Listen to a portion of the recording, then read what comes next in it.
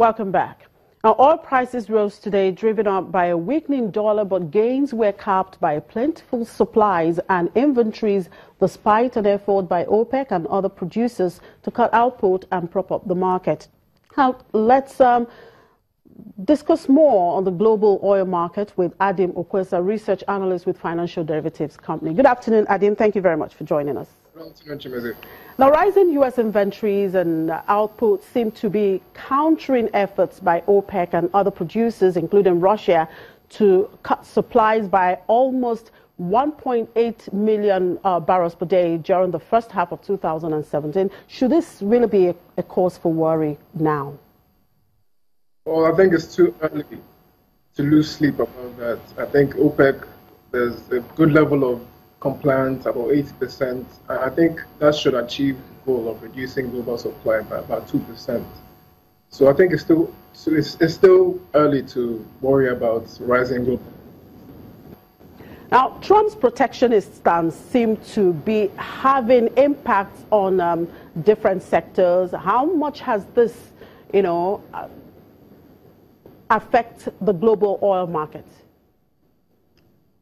Well, um, if we, we have to look at Trump's energy plan and his economic policies. The corner, cornerstone of his policies are putting America first and protect, protecting America's interests anywhere in the world. Trump's energy plan is predicated on achieving energy independence and winning the U.S. off imports from OPEC. Um, but this is not the first time um, a president has tried attempted to achieve energy independence. I think going back as far back as Richard Nixon in the 70s, he have tried to attempt to achieve energy independence, but haven't haven't been successful. But we have to know that America is both an is both an oil exporter and oil importer. So, if it wants to achieve energy independence, it has to scale back on exporting. It has to reimpose a ban on lifting, on on reimpose a ban on exporting oil to the U.S. so it can have sufficient production for domestic consumption. Now, if he tells, you know, goes that way, you know, continues with this style, how much impact would that have on U.S.-Nigeria relationship in terms of oil export? Um, I don't see Nigeria being affected by by the U.S.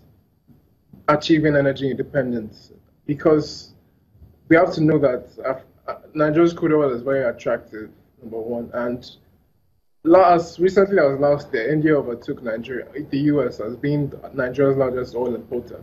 So I think that if the U.S. steps out and stops importing oil from Nigeria and other OPEC countries, economies like India and other Asian countries will be willing and ready to fill the, the vacuum. So I don't see it as any being any as having any effect on Nigeria's on Nigeria. Now let's look at this um, general plan by uh, Trump to actually boost U.S. production, his plans to revive pipelines. In all of these, who wins and who loses?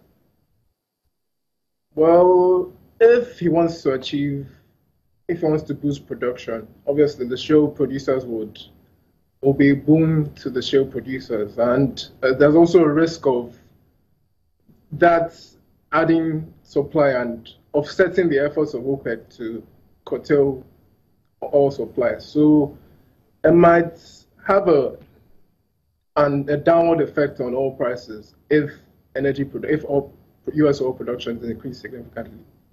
So we have to wait and see how that plays out. So going forward, what is your outlook for the global markets?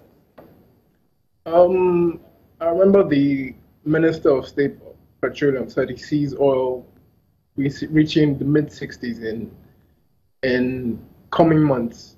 But I think I'll rather be more conservative than that. I think I see oil being about 59 60 dollars sometime between now and the and June. Well, let's hope we get to that. At least it will be a positive news for Nigeria. Thank you very much for your time, Adim. South Africa has issued permits to allow total imports of 1.3 million metric tons of genetically modified corn from the U.S. since allowing entry of the grain for the first time in December after the worst drought since records began in 1904. South Africa became a net importer of corn for the first time since 2008 in the marketing season uh, that ended in April after the drought slashed local harvests. Approval was given for the entry both white and yellow GM corn from the U.S. While South Africa grows its own GM corn, to date it hadn't allowed modified grain from the U.S. to be imported as food. Local corn farmers oppose the new imports because they are likely to push prices lower. Ghana's producer price inflation fell sharply to 4.9% year on year in December from 11.9% the month before. Ghana's new president, Nana Akufo-Addo, has vowed to create jobs, promote business and fight corruption. The government also inherits a $918 million International Monetary Fund deal that aims to reduce debt, the budget deficit and inflation. And finally on the program, Tanzania hopes to reach an agreement with international oil companies in 2018, paving the way for the construction of a liquefied natural gas plant, part of a bigger plan for a new export terminal. The planned new infrastructure will enable Tanzania to export some of the huge offshore gas reserves discovered in recent years in a region that has turned into a hydrocarbon exploration hotspot. BG Group, recently acquired by Royal Dutch Shell, together with Statoil, ExxonMobil, and Ophir Energy, plan to build a $30 billion onshore LNG export terminal in partnership with the state-run Tanzania Petroleum Development Corporation. But a final investment decision has been held up by government delays in finalizing issues relating to the acquisition of land at the site and establishing a legal framework for the nascent hydrocarbon industry. And that's it on the program. Thank you very much for being part of it. I'm Chimize Obi.